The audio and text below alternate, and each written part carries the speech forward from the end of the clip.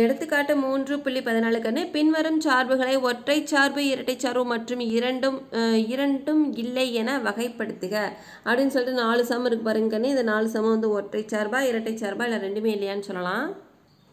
Answer பாருங்கன்னு ஒரு some வந்து ஈவன் ஒரு ஃபங்க்ஷன் வந்து ஈவன் ஃபங்க்ஷன் இல்லைனா ஆடு ஃபங்க்ஷன் அதில் ரெண்டுமே இல்லை.